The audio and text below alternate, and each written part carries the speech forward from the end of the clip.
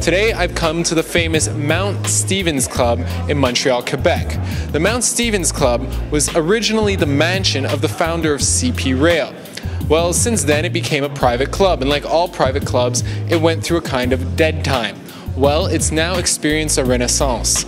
Essentially, a private group has bought it out, has renovated it, restored it to its former glory, and we're gonna go take a look at what they've accomplished. I was wondering if you gentlemen can tell me, how has the Mount Stephen's Club uh, figured into both high society and civil society here in Montreal? Well, first of all, first time I have been here, it was October sometime, it was a gala, and I like it very, very much, we like it, and we felt if we have such a beautiful club, which like a jewel, and try to polish it, and have it uh, serving the people of Montreal and continue with the tradition for the Montreal, for the visitors. And we believe this is the nicest Victorian house in North America.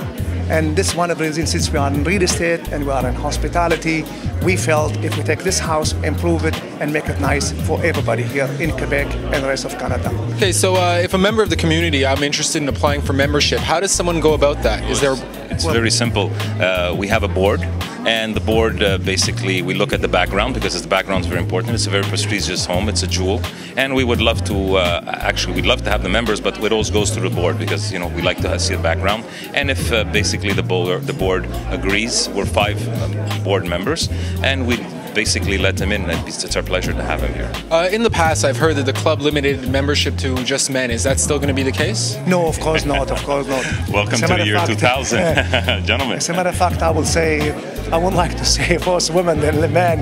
I say both naturally they're very welcome. All of them, anyone, family, any person, any couple, very welcome to this club. There's no limitation to anyone. It, re- it, really is our pleasure to have men, and women. I mean, it's it's a club that uh, that Mr. Yuval and Mr. Sofer purchased. It's for basically the, the community, and it, it, would be our pleasure to have men, women. Well, is there anything else you'd like to add about the club and as it stands? And yes.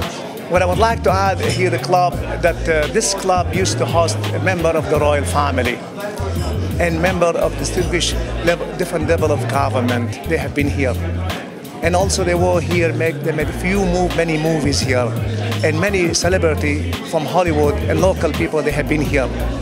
What I would like to say now is it was joy for us to know this kind of category of people have been here.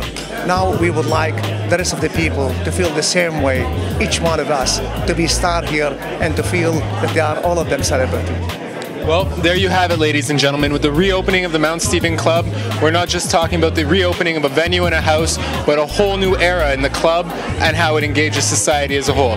Thank you much. Thank you very much for your time, gentlemen. Thank you, Thank you for coming out, sir. Thank you. Thank you. Thank you.